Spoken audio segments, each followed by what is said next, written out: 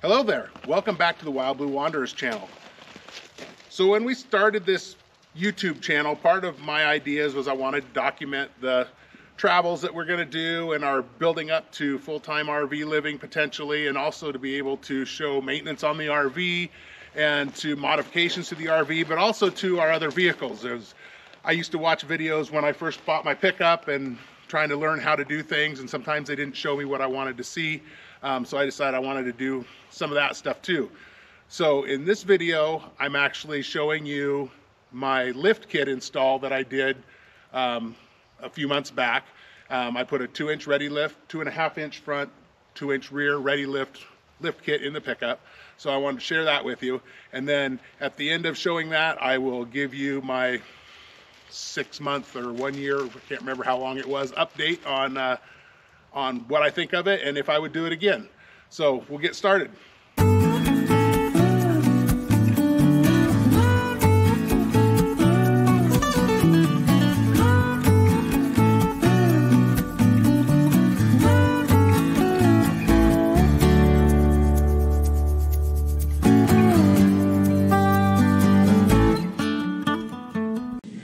I'm going to install the ReadyLift two and a half inch front and about an inch and a half rear, I believe is what it's going to be.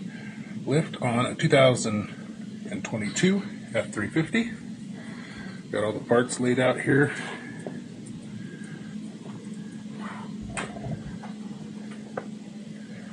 And truck's about ready to go on the lift. But before we do that, we're going to do some measurements to see what exactly each corner has. This isn't going to be too scientific or too exactly accurate, but we're going to go from the center of the hub up, and it looks like we got 40, well, let's say 40 and a half to this ridge right here, rib right there on the front left. We got 42 and three quarters to that same rib. And let's see, that says 43 and a half. And 41 and a half. So, looks like it's got a little bit of a lean one way. Just for giggles, that's 40 and a half. Again. All right. All right, we're up in the air.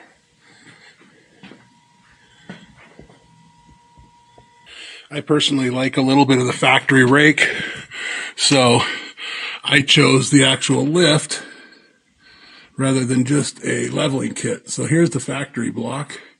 It's two inches. And here's the new block. It's still in the package, but it is four inches. So it'll be about a two inch lift in the rear and then two and a half in the front. All right, we're going to start by, we got the axle supported and we are going to start by removing the brake lines from the frame, the brake line bracket from the axle. And then we're going to remove the sway bar from the frame, brackets there, um, and the lower shock mounts.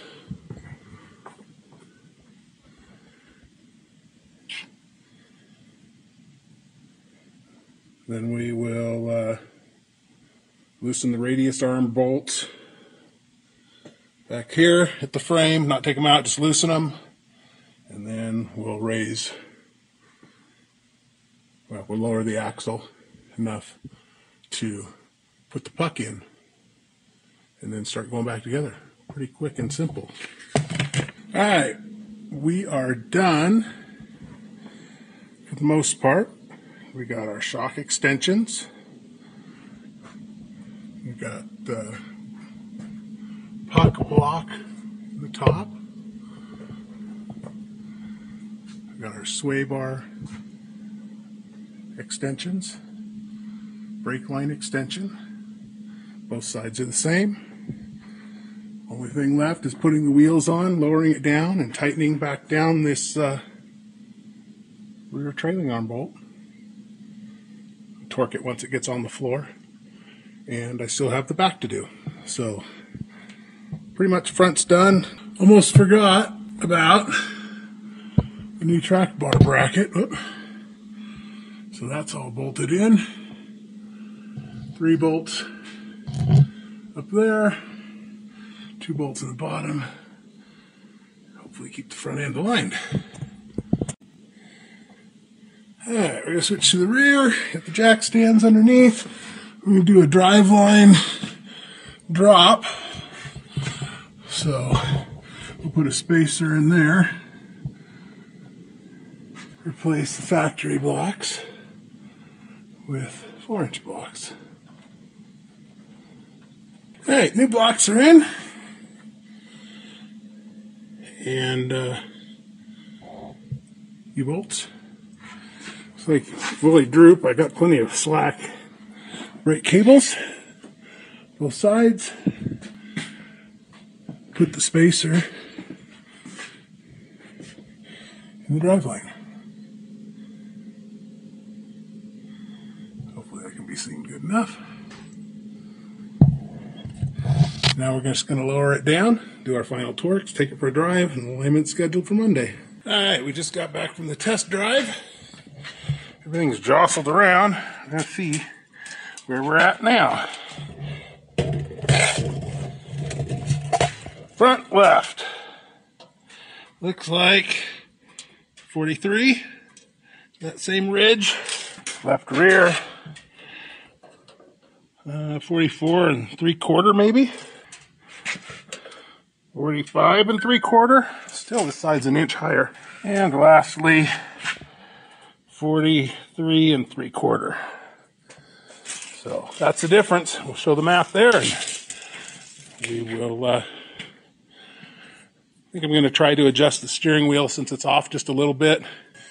So I pulled straight into this garage shop and I left the steering wheel at the angle that it was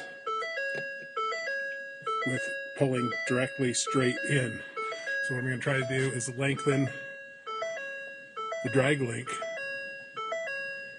until I get the steering wheel close to square. Then I'll take it for a ride and come back and adjust again if I need to. Alright, so hopefully you can see that okay.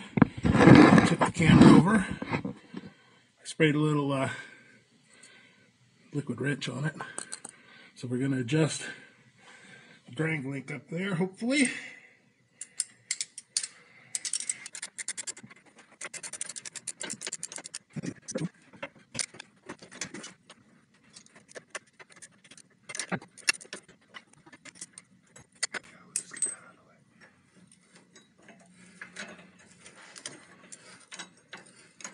There's one turn. Let me go two. There we go, two turns. Now let's go inside, see if that straightened the steering wheel at all. So two turns, got it a lot closer. I think I'll go one more, maybe two, see where we're at there.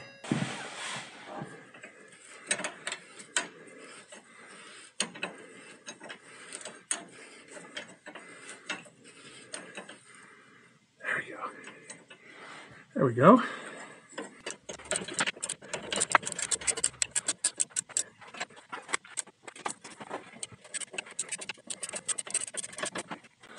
All right, there we go. Pretty darn close. Nice and straight. Hopefully, I'll take it in and the alignment. They'll tell me everything was dead on. Find out Monday. But I feel comfortable driving it as it is right now, so. Right, Willy Willy? Sleepy dog. So here's the results of the alignment. You can see it actually wasn't too far off. Uh, the caster was off just a little bit. The toe was off just a little bit. They adjusted those back within specs. The kit did come with the bushings to adjust the caster correct. So everything's within specs now and it drives really good. Just got the 37 inch, 37 11 50 20 Nitto Ridge grapplers installed. There is a slight little bit of rubbing right there on hard lock. So eventually I'll probably get a little bit less offset of a wheel or just stick them out just a little bit. But on our measurements, we've got driver side front, 44 and a quarter. Driver's side rear to that same spot, 46 and eh, between a quarter and a half. Passenger side rear, right about 47. And passenger front.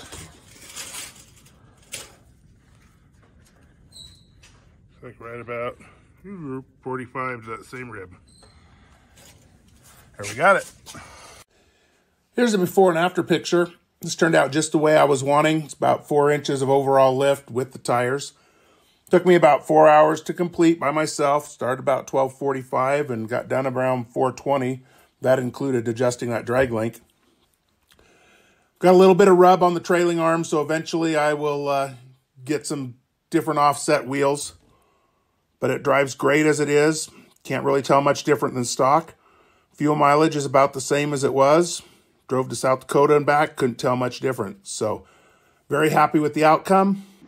So I hope that was helpful to some of you and uh, it wasn't too boring to the others, but that's something that I really liked um, when I bought the pickup. I wanted just a little bit more lift. I didn't want to be crazy and silly.